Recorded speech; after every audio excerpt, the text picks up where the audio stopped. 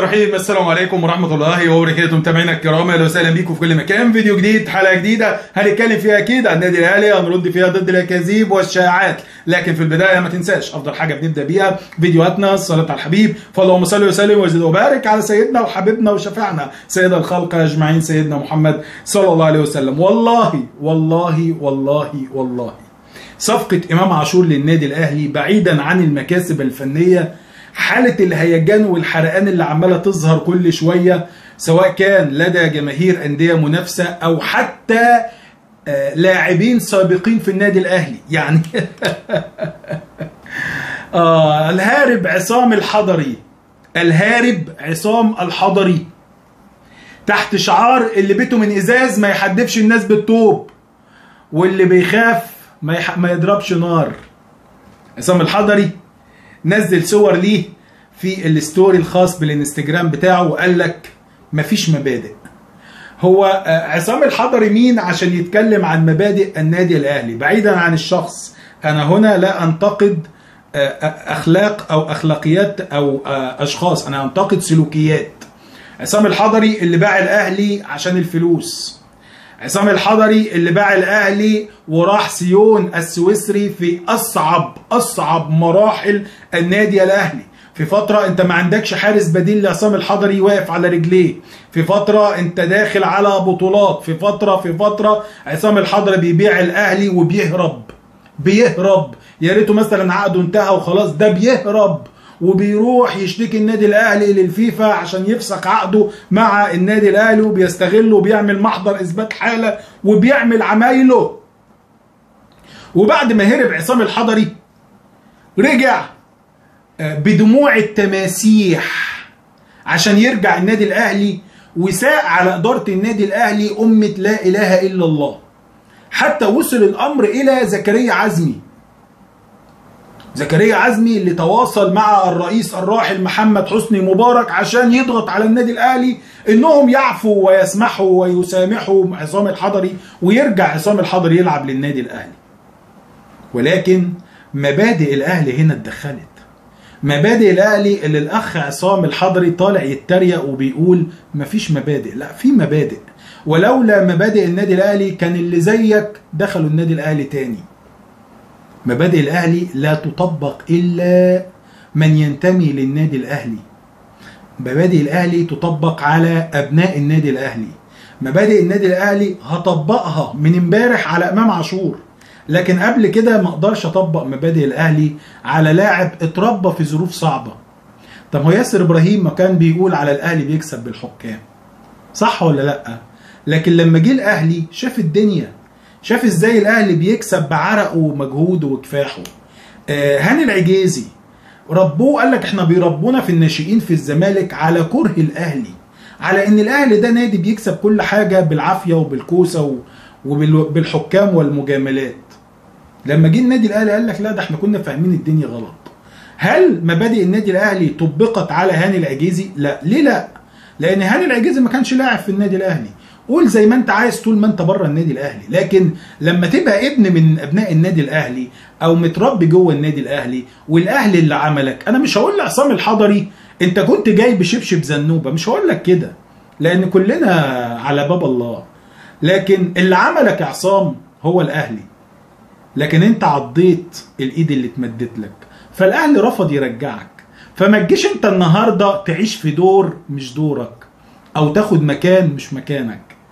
لا انت تعرف حاجة عن مبادئ الأهلي ولا انت طبقت حاجة على مبادئ الأهلي. زي بالظبط الست أم البانة. الست أم البانة تحت شعار العيبه تلهيك واللي فيها تجيبه فيك.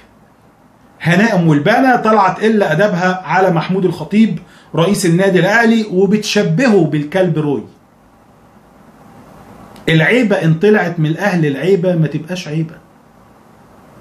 أم البانة لما تقول على الخطيب وتشبهه في جملة بإنه زي روي وإن إزاي روي تعاقد مع إمام عاشور أنا مش مش هزعل ولا هدي لكلامك أي اهتمام لأن الناقص لما بيغلط كلامه ولا في الهوا. كلامه ولا في الهوا. عايز أقول سبحان الله ما بين خالد الغندور في قناة الزمالك وما بين خالد الغندور في راديو اون أف إم. خالد الغندور امبارح ثلاث ساعات ثلاث ساعات هري في الفاضي ثلاث ساعات تنطيط على الفاضي ثلاث ساعات حرق جاز على الفاضي ولا أي 30 لازمة. الكلام كله تاخده وترميه في أقرب سلة. خالد الغندور النهارده عشان تعرفوا إن خالد الغندور لسانه مش ملكه. خالد الغندور لا يتحدث من عقله بل يتحدث وفقا للورق اللي قدامه. في قناة الزمالك يقول كلام يطلع في قناة اون في نفس الموضوع يقول كلام تاني خالص يطلع في راديو اون لأن جماهير الزمالك مش هتسمعه على راديو اون فيقول كلام تالت خالص. خالد الغندور قال إن إمام عاشور صفقة من العيار الثقيل للنادي الأهلي. وإن إمام عاشور لعيب مميز وبيلعب في منتخب مصر وعنده كل المقومات للاعب الناجح مع النادي الأهلي لكن عليه بس إن هو يلتزم عشان يفيد ناديه الجديد. يا ترى يا هل ترى خالد الغندور قال كده امبارح في قناة الزمالك قولا واحدا لا. قولا واحدا لا. لأنه ما يقدرش يقول كده. هو لو طلع قال نص الكلام ده على قناة الزمالك المستشار ساعتها هيقول له يلا يا ولد. هنهزر جاي تطبل لإمام عاشور وللأهلي في قناة الزمالك. اتفضل من غير مطرود امشي. خالد الغندور شمتان في أسوان. قال لك كان عنده حق. فيريرا لما قال لايمن الرمادي يا ريت تلعب كده قدام باقي الأندية. هو أنا بعيدا عن أسوان وشماتة خالد الغندور في أسوان هو ليه الزمالك ما بيلعبش برجولة قدام النادي الأهلي؟ سؤال الزمالك خسر الموسم ده في مجموع المباراتين قدام النادي الأهلي 7-0 أسوان خسر في إجمالي المباراتين 6-1 أو 6-0 يعني أسوان عمل نتيجة أحسن من نادي الزمالك. فبدل يا خالد يا غندور ما تطلع تشمت. الشماتة أولا ليست من شيم الرجال بل من شيم آه النساء. ومش أي نساء في نساء بتبقى ب 100 راجل يا خالد غندور. لكن في نساء كده اللي هم نساء الشوارع اللي بيقعدوا على المصاطب. هم دول اللي بيشمتوا. عايز أقول لخالد الغندور بدل ما تطلع تقول لأيمن الرمادي كنت تلعب برجولة زي ما لعبت قدام الزمالك طب ما تقول لي لعبتك انت العبوا برجولة قدام النادي الأهلي. ما تقول لي لعبتك العبوا برجولة في أفريقيا.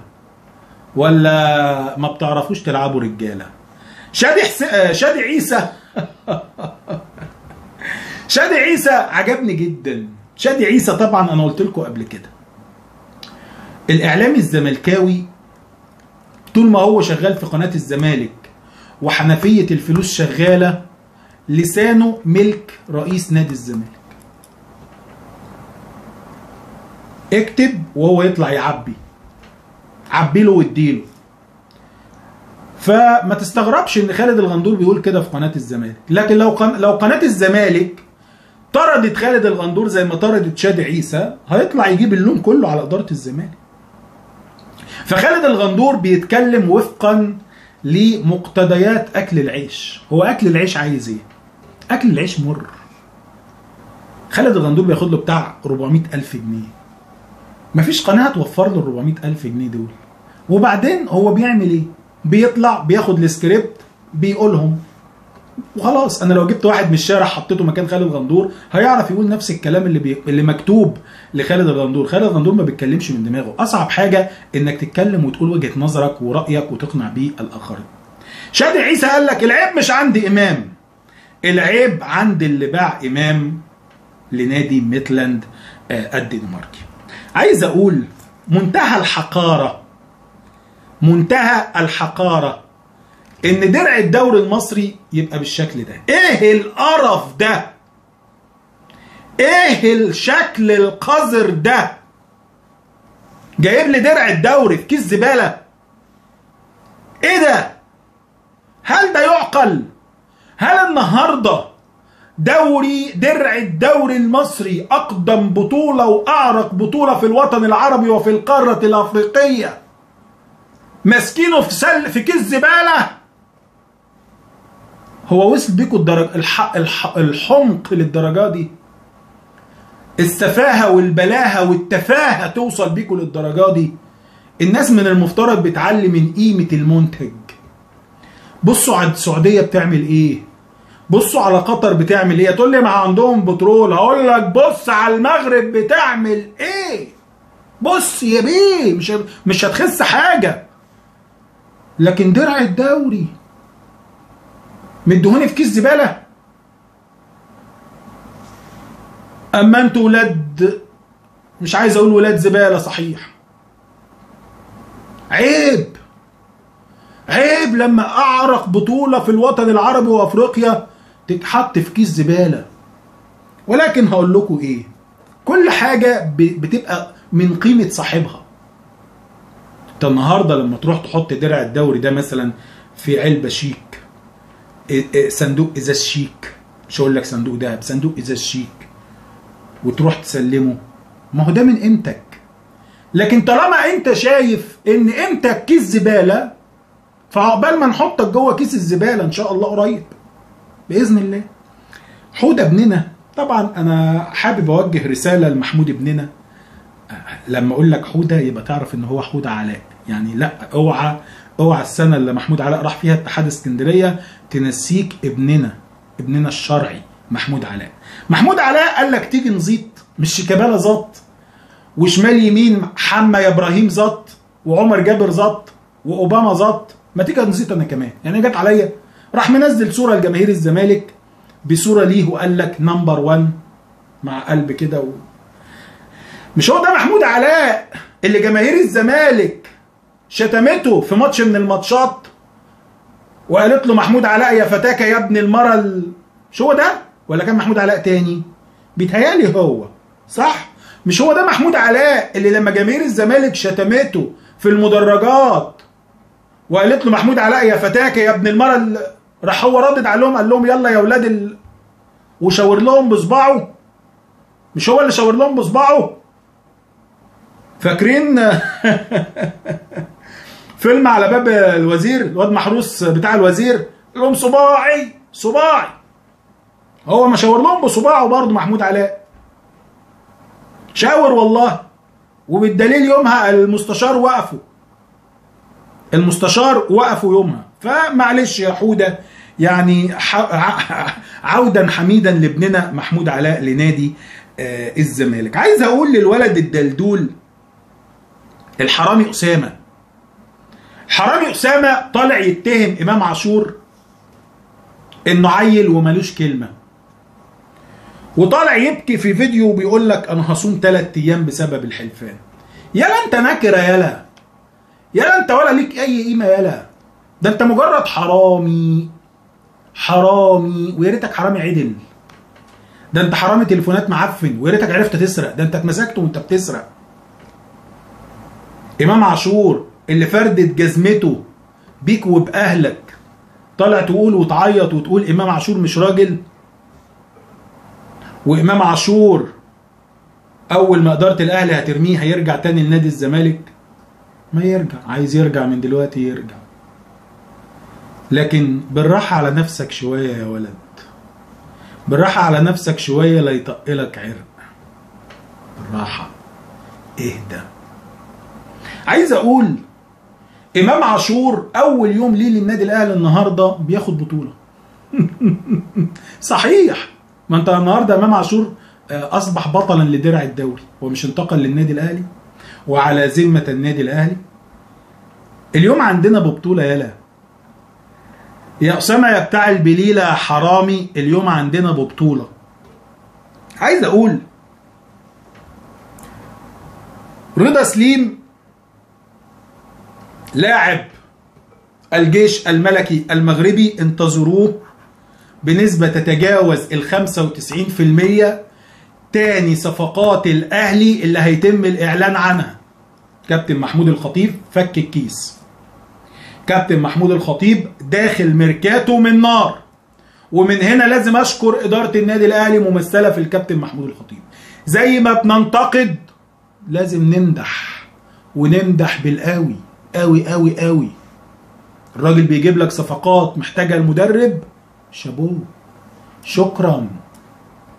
بعد إمام عاشور 2.7 مليون دولار 2 مليون 700 ألف دولار النهارده الكلام على رضا سليم سيصبح لاعبا في النادي الأهلي ورضا سليم متمرد في نادي الجيش الملكي المغربي عشان يضغط على إدارة الجيش لإتمام انتقاله للنادي الأهلي.